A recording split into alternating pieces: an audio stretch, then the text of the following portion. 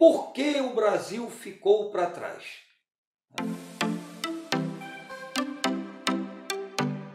Olá, amigos, tudo bem com vocês? Estou passando aqui para mais uma edição do Avesso da História. Você já conhece o quadro, né? No Avesso da História a gente fala sobre assuntos que não são normalmente abordados nos livros de história, perguntas que a gente tem na cabeça e que não são abordadas, né, mas que são sempre interessantes. Então a gente hoje é, quer falar sobre uma pergunta que eu ouço com muita frequência. Ouço muita frequência em sala de aula, ouço com muita frequência em palestras. A pergunta é muito simples e objetiva. É, por que o Brasil ficou para trás?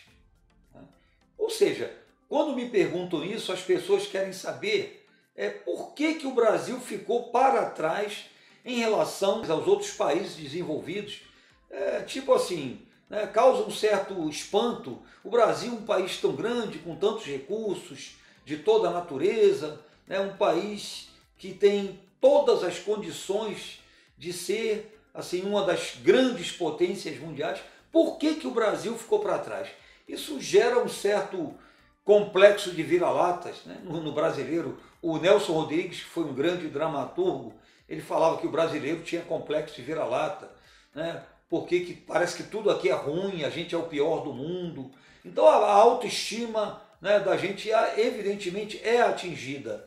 Né? Por que, que o Brasil, que tem tudo né, para ser uma grande potência mundial, por que, que o Brasil ficou para trás, gente? Quais são as respostas para essa pergunta? Vamos nessa então? Então vamos lá. Primeiro ponto: existe uma comparação que é inevitável. O Brasil foi é, descoberto e colonizado ao mesmo tempo que os Estados Unidos. Colombo chegou na América em 1492, depois os ingleses ganharam as disputas né, da, da América do Norte aí com os espanhóis, com os franceses, enfim, colonizaram os Estados Unidos. Tá? Então, o Brasil e os Estados Unidos foram colonizados praticamente na mesma época. E hoje a diferença é absurda. Os Estados Unidos são o que são a maior economia do planeta e a gente está aí, não é? é, lutando para sair da situação de país emergente. Então é uma comparação inevitável. Ah, é muito estranho. Fomos descobertos, entre aspas, e colonizados na mesma época. Por que essa diferença abissal né, entre os dois países? Esse é o primeiro ponto. Agora, quais seriam as respostas possíveis? Todos os historiadores apontam na mesma direção. A questão da colonização. Né? o que se fez com a colonização aqui no Brasil, o que Portugal fez aqui. É a famosa história da colonização de exploração e da colonização é, de povoamento que os ingleses fizeram na América. Há todo, toda uma série de, de, de, de, de fatores né, que explicam isso aí. É, realmente a colonização feita pelos portugueses e espanhóis na América não tinha intenção nenhuma de desenvolver as colônias. A colonização portuguesa feita no Brasil não tinha essa intenção. Não era desenvolver o Brasil, era explorar, era retirar o máximo possível. Tá? Não tinha essa intenção, em momento algum, colocar a colônia concorrendo com a metrópole, concorrendo com Portugal. Então era retirar tudo que pudesse. Todo tipo de recurso, metal precioso, como aconteceu a partir do século XVIII, montar uma agroindústria de exportação, né, com produtos que pudessem ser é, é, vendidos na Europa. Então não havia realmente a intenção de desenvolver. Isso é fato. A intenção era explorar. Tá? Outro aspecto interessante: o perfil do colonizador que veio para cá e o que foi para lá, para os Estados Unidos, por exemplo. O colonizador que veio, que foi para os Estados Unidos, era, né, era, era puritano, perseguido por é, é, questões religiosas, que veio com a família para ficar e tal, tinha uma mentalidade empreendedora, não queria voltar para a Inglaterra. Agora, o colonizador português que veio para cá, para o Brasil, veio para quê? Veio para enriquecer. Ele não trouxe a família, tinha planos de ficar rico, de preferência né, fazer parte aí da administração é, colonial portuguesa aqui no Brasil. A intenção era essa. Tinha um perfil nada, nada empreendedor. É, esse é um aspecto, durante o período colonial, ainda dentro da questão histórica. Depois da independência, tá, nós nos tornamos uma monarquia. Todos os países da América Latina viraram república. nós nos tornamos monarquia na contramão da história.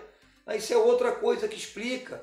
Tá? A monarquia é um estilo, né, um modelo de Estado arcaico que privilegiava a nobreza, privilegiava a aristocracia, clero. Tá? Então isso foi uma coisa muito ruim. A gente foi na contramão da história tanto né, dentro do período colonial, evidentemente pelas características exploradoras do modelo colonial português, espanhol também, aconteceu a mesma coisa na América Latina como um todo, e como depois também. Não se montou um modelo de Estado aqui republicano, tá? empreendedor, voltado para a industrialização, nada disso. Tá? Então isso também né, entra desses fatores históricos.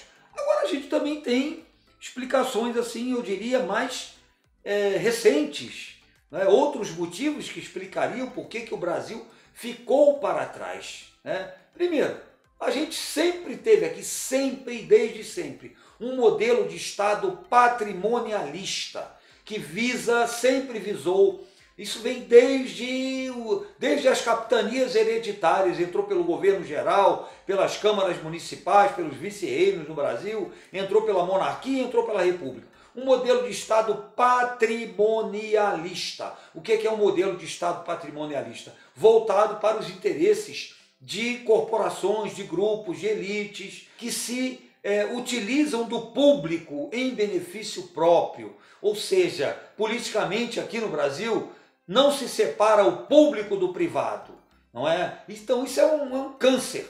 Isso sempre existiu no Brasil, desde sempre, desde o período colonial. Tá? Pode olhar as, as, as capitanias hereditárias que prosperaram, quem eram os donos. Então você vê que isso vem né, de, longo, de longa data. Tá? Outra coisa que eu colocaria aqui também, que explica essa nossa estagnação, por que, que a gente não dá aquele boom, aquele salto né, rumo né, ao clube seleto dos países é, desenvolvidos e ricos?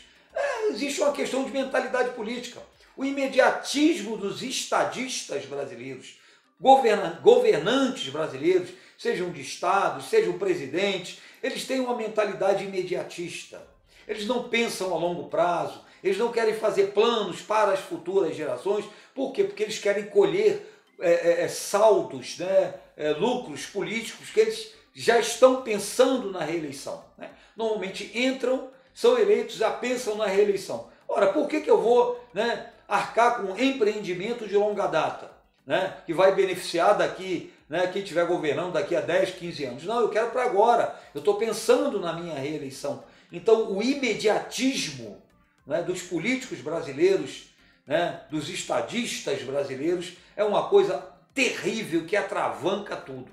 Você vê, por exemplo, nos Estados Unidos, logo depois da independência, uns anos depois, depois do país ter vivido a guerra de secessão, eles construíram a, a, a ferrovia transcontinental começaram a construir em 1860 e alguma coisa, 62 eu acho, né? visando o que? Ligar a costa leste oeste dos Estados Unidos, isso para futuras gerações, coisa para décadas depois.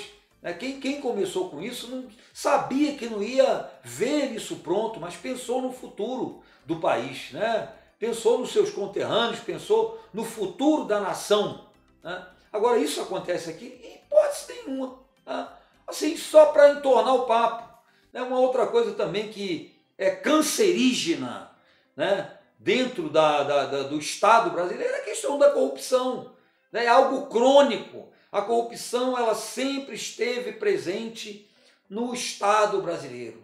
Né? E essa, essa, essa cultura de impunidade que existe também contribui para que essa situação de estagnação, essa lentidão da gente rumo ao desenvolvimento, né? É, a se tornar, a gente a se tornar um país, é uma potência, está entre os grandes. A corrupção atrapalha muito, não tem jeito. É uma coisa realmente horrorosa e que a gente fica às vezes enojado, não tem outra palavra de ver, tá? Então, esses são os fatores que explicam. São fatores de ordem histórica, desde o período colonial, e fatores também perenes que estão aí conforme a gente falou, né? Agora né, nessa última parte aí do vídeo. Bom, tem solução para isso? A solução é o quê? Pegar o Brasil e devolver para os índios, falar, pô, foi mal aí, toma aí de volta, não tem jeito, né? Ou tem outra solução? Tem sim. eu costumo dizer sempre que o problema do Brasil é político. O Brasil não tem problema de educação, saúde, segurança, porque tudo isso depende de política do Estado. Tá? Então o problema do Brasil é político. Na hora que resolver essa questão política, não é esse modelo de Estado patrimonialista, prebendário, que visa né, corporações, aí isso tudo vai acabar. A gente vai dar uma alavancada muito rápido. Você tem um papel muito importante nessa história, não esqueça disso, tá? Ano que vem tem eleição e você tem que pensar bem na hora de escolher, tá? A gente é responsável por tudo isso que está acontecendo e a gente também tem um papel histórico de mudar tudo isso. Tá bom, gente? Então é isso aí. Esse é o nosso recado aqui no Avesso da História. Se você curtiu o vídeo, deixe aí o seu comentário. Eu acho que você deve ter alguma opinião em relação a isso, né? Por que, que o Brasil ficou para trás? Qual é a sua opinião? Deixe seu comentário, não deixe de se inscrever e compartilhar, tá? E também dá um pulinho lá no Instagram, tá? Eu sempre lembro isso. Instagram tá bombando, cheio de novidades. É isso aí, gente. Um grande beijo e um abraço da Polis para vocês.